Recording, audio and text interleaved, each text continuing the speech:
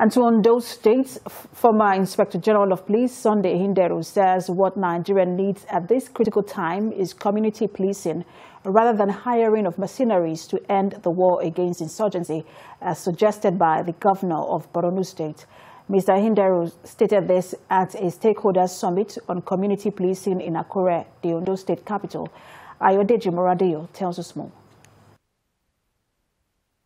The rising security in Nigeria propelled the federal government to launch Community Policing Initiative in September.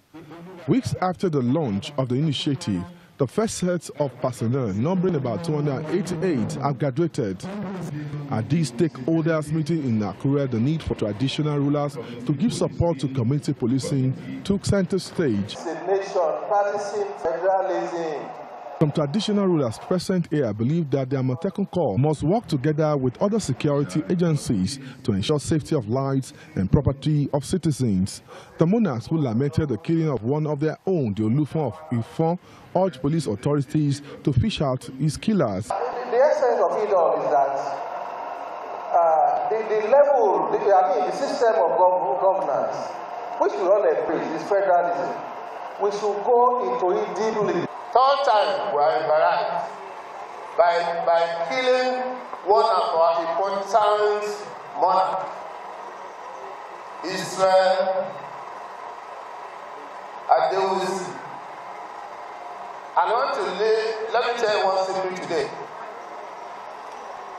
We have to send some of our private security to all the over before they can come here today. Former Inspector General of Police Sunday Ehindero believes that hiring machineries to tackle insurgency in the northeast is not the way out of the current security threat. He says efforts must be made to adequately fund community policing in the country. In, in, in their desperation, the governor of, uh, of Borno, uh, Professor Zulum, said they should invite mercenaries to come and do it for us. Some people say retired uh, military officer. Some people say let them get hunters. But those are desperation. What you need is community policing.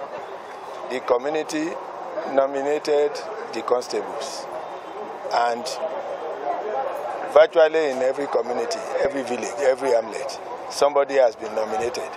Of course, one person policing 400 people. It's not that he's going to know everything about the 400 or know everything about the household. State Commissioner of Police said the command will ensure that those who killed the former monarch are brought to justice. Over 288 special constables were carefully recruited from different communities in Ondo State. Ayodeji Moradeyo, TVC News, Akure.